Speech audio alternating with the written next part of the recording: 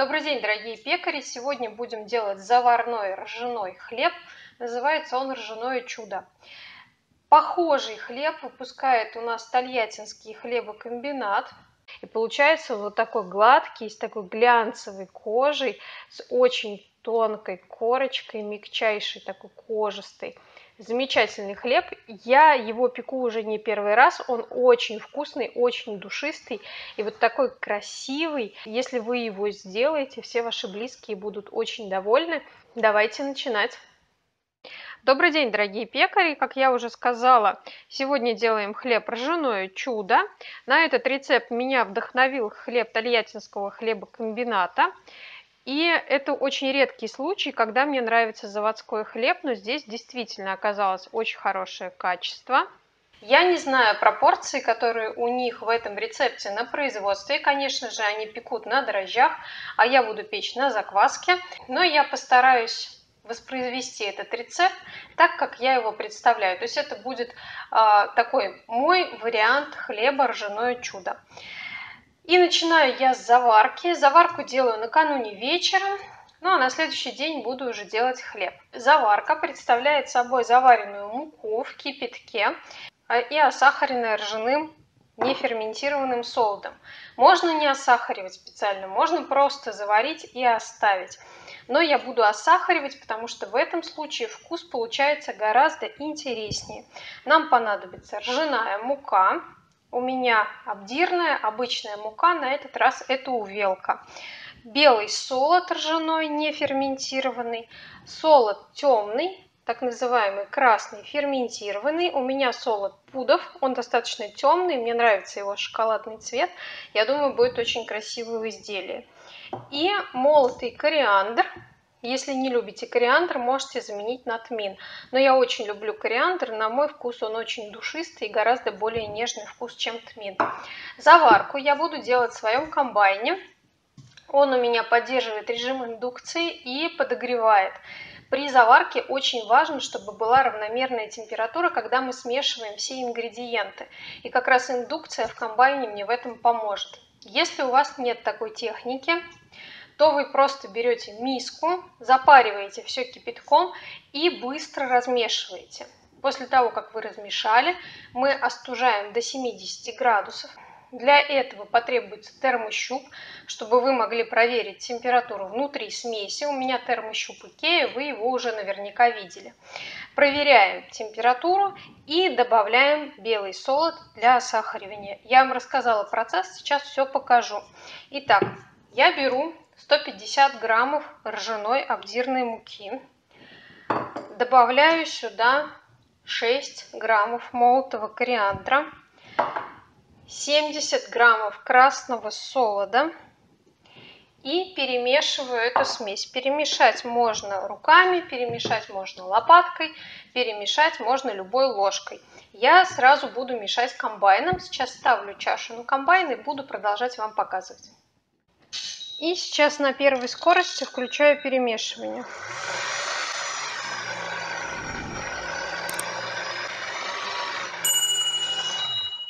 Все перемешала. Теперь необходим кипяток. 560 мл кипятка. Очень важно, чтобы при заваривании была высокая температура, поэтому смешивать надо очень быстро и равномерно, чтобы у вас не осталось ни промесов. Я наливаю кипяток я заранее отмерила кипяток, вливаю тонкой струйкой. Комбайн быстро все промешивает. Необходимо добиться однородности и сохранения достаточно высокой температуры, пока масса не заварится. Все, вылила всю воду продолжаю размешивать. Таким образом получается очень равномерно размешанная заварка. Если вы мешаете руками, нужно делать это очень быстро. Я могу скорость сейчас увеличить. Сейчас машина мне показывает 69 градусов температура, но еще идет нагрев. Необходимо, чтобы крахмал заварился и превратился в клейстер. Так, все. Очень горячая масса. Будьте очень аккуратны. Заварка очень горячая и очень липкая. Если она попадет на руку, будет ожог. И сейчас необходимо будет замерить температуру смеси. Вставляем термощуп и меряю температуру. Так, температура моей смеси 70 градусов. И это оптимальная температура, чтобы сейчас внести солод белый, который у нас будет осахаривать. Белого солода добавляю 18 граммов. И также быстро перемешиваю. Для сохранения температуры ищите способ. Можно укутать электрогрелкой, можно накрыть каким-нибудь одеялом, плотной тканью. Есть электрические одеяла. Можно поставить духовку. Я как-то делала в остывающей бане, прям в парилке оставляла миску. Последнее время я использую термос. И сейчас я буду использовать термос. Перекладываю всю смесь термос с широким горлом. Смотрите, я все переложила в термос. Желательно все спустить вниз чтобы заварка находилась вся вместе, чтобы работали в ней ферменты белого солода. Ферменты будут расщеплять тот самый крахмал, который образовался при заваривании. То есть я заварила муку, образовался клейстер, выделился крахмал. И сейчас я добавила активные ферменты в виде белого солода, и они сейчас начнут активно расщеплять а, этот крахмал до сахаров. Поэтому это называется осахаривание заварки. И заварка утром будет сладкой. Я люблю делать накануне вечером. Вот я сделала в термос, поставила, и он у меня в тепле хранится до завтрашнего утра. Утром лучше ее заранее раскрыть, потому что она будет горячеватая, выложить куда-нибудь в мисочку, чтобы она остыла перед замесом. Горячую заварку ни в коем случае в тесто не добавляем, она убьет закваску. Ну а закваску также надо заранее освежить. Берем ваши ржаные закваски, которые у вас есть, и делаем на них. Закваску освежать буду попозже. Сейчас жарковато, и она за ночь очень быстро вырастет, поэтому делать это буду как можно позднее вечером. Либо можно сделать это утром. Например, встали, освежили закваску, часа три она у вас выросла, и вы отправляете ее в замес. Оставляю заварку на ночь, ну а потом продолжим работать с этим рецептом. Наступил следующий день, сейчас утро, и я буду продолжать работу над заварным хлебом. Смотрите, заварка готова. Я ее уже выложила из термоса, потому что она была горячая, и необходимо было, чтобы она приняла комнатную температуру. Обязательно пробуем. Она сладенькая, не яростно сладкая, как сахар, но она приятной такой сладости, карамельной. Очень вкусно. Обязательно пробуйте, убеждайтесь, что у вас заварка осахарилась. Если вдруг она не осахарилась, у вас есть еще время, вы можете точно так же подогреть ее до температуры около 70 градусов, добавить еще цельнозерновую муку, либо белый солод, упориваете в тепле и держите, пока не осахарится. Заварка должна быть осахарена. Здесь у меня закваска. Это закваска, которую я привезла из НИИ хлебопекарной промышленности из Москвы. Она 40% влажности. У вас может быть любая ржаная закваска. Я в описании напишу пропорции на разные типы закваски, сколько ее класть. Но закваска у нас обязательно ржаная. Закваска у меня подошла. Я ее кормила вчера вечером по пропорциям закваски 40% влажности.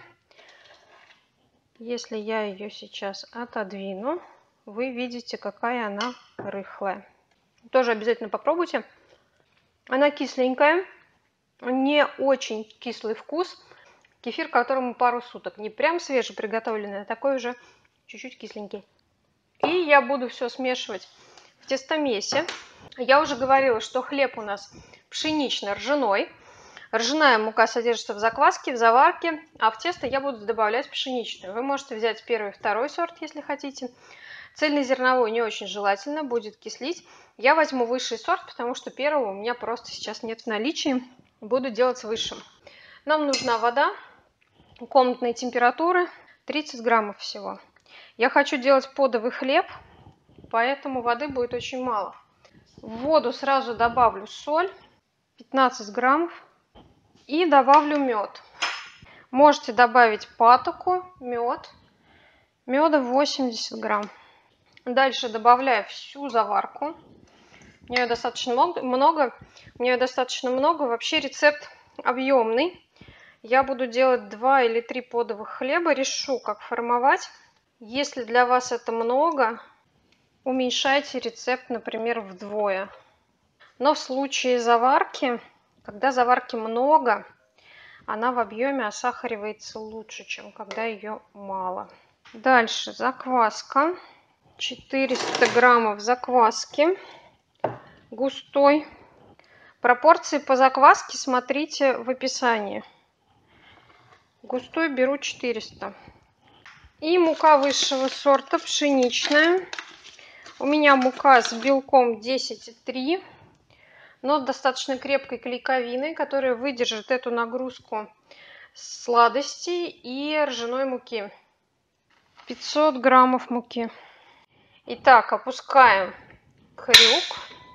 И начинаю замес на первой скорости. Выставляю время 5 минут. Начинаю на первой скорости.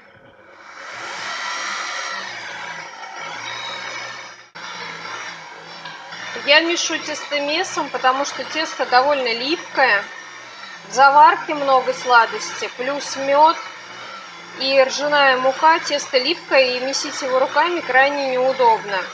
Если у вас есть любая техника, хлебопечь, или может быть мультиварка, любая совершенно техника, которая позволяет вам замесить тесто, месите обязательно при помощи техники, вы сильно облегчите себе задачу. Сейчас добиваюсь смешивания, сделаю затем небольшую паузу и домешу тесто. Замешиваю 5 минут на первой скорости. Я закончила замес на первой скорости, первичный замес.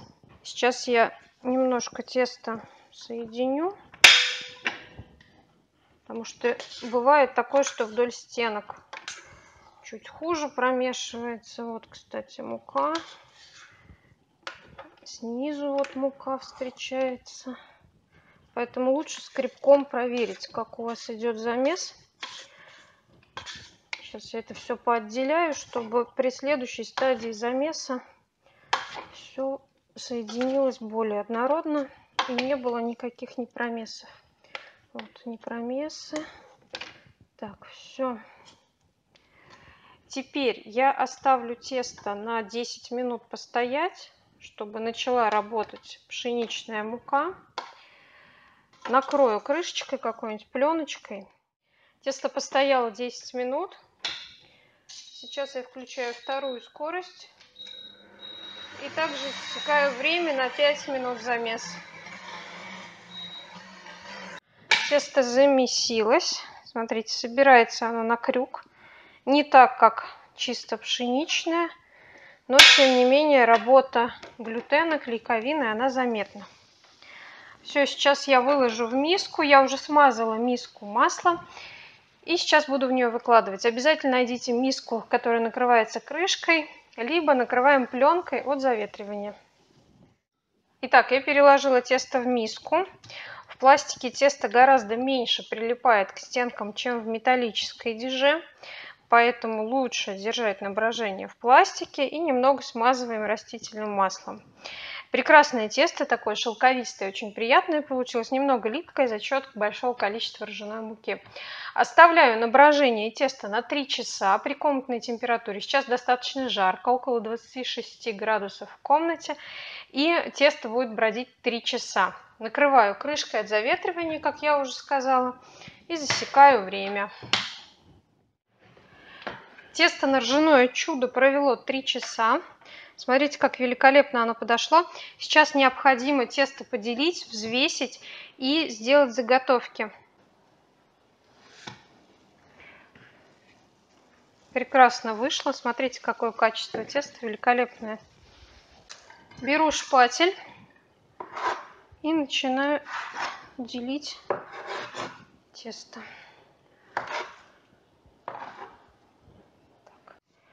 Заготовки прошли отлежку.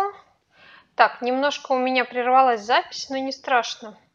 Заготовки прошли отлежку. Сейчас сделаю формовку. Хочу сделать такую овальную формовку. Залепляю краешки. Смачиваем руки. Мокрыми руками с тестом справиться гораздо проще. И заглаживаю вот эти швы. Не переживайте, если у вас сейчас будет не очень ровная поверхность. Сейчас все подровняем. И я буду расстаивать в подовом виде, то есть прямо без формы. Для расстойки укладываю хлеб на бумагу для выпечки. Можно выложить на силиконовый коврик. Мокрыми руками придаю ему форму. Заглаживаю все-все неровности и трещинки. такой овальный хочу хлеб. Можно выложить форму, если вы хотите печь формовой. Я делаю подовый. И сейчас обязательно накрою пленкой. Пленку смажу маслом, чтобы она не прилипла к заготовке накрою пленочкой или можно накрыть какой-то коробкой, а, пластиковым тазом, чем угодно, чтобы предотвратить подсыхание корочки. Если вы накрываете большой какой-то емкостью, например, пластиковой коробкой или ящиком, поставьте туда стакан с горячей водой, чтобы у вас увлажнялась атмосфера. Точно так же можно поставить на расстойку в духовку, например, и поставить туда миску с горячей водой, с кипятком, чтобы она испарялась атмосфера увлажнялась. Расстойка займет около 45 минут, может быть час, не очень долго. Тесто увеличится, вы это заметите. И самое главное, как я уже сказала, не допустить подсыхания корочки. Расстойка хлеба заняла около часа. Я не буду ничего с ним делать, не надрезать, никоим образом декорировать. Сейчас я его отправлю выпекаться. Духовка у меня разогрета на свой максимум, это 300 градусов. Я буду печь всего 3 минуты с паром. Пар подаю снизу из мисочки, в которую налито немножечко воды. После трех минут я открою дверцу, уберу миску с водой и понижу температуру до 200 градусов и буду допекать. Допекать буду еще примерно минут 30-35. Такой замечательный получился хлеб, очень гладкий. Для большего глянца на корочке я его смазала крахмальным киселем. Взяла обычный крахмал, заварила его в горячей воде, в кипятке и смазала сразу после выпечки по горячей корочке. Смотрите, какая кожистая, мягкая и тонкая корочка у этого хлеба. Это показатель как раз-таки качества для ржаного хлеба. Я даю ему созреть. Разрезать будем позднее, он сейчас еще теплый внутри, и ржаной хлеб в таком состоянии резать нельзя, поэтому надо дать ему полностью остыть и созреть. Резать будем позже. Хлеб полностью остыл, давайте его разрежем, понюхаем, попробуем. Очень мягко он режется. Идеальная текстура, просто идеал. Заварные хлеба – это, конечно, отдельная история, это отдельная песня. И для меня это прям отдельный класс хлеба, заварной ржаной хлеб. Я этот хлеб пекла уже не один раз. На вкус он кисло-сладкий, с таким ярким, но довольно деликатным ароматом кориандра. То есть он не перебивает аромат солода и ржаной муки. Замечательная текстура, вот именно этого вида и эффекта я хотела добиться, вот такой однородности, мягкости, пористости. Немного темновата нижняя корочка, здесь мне еще надо приспособиться. Я пекла на плите, на стальной для выпечки. Нужно приспособиться с температурой. Вот для корки температуры и условия были идеальны, потому что ни одного подрыва, ни одной трещины. Идеально ровная корка. А вот низ слегка у меня темноватый, чуть-чуть подгорел.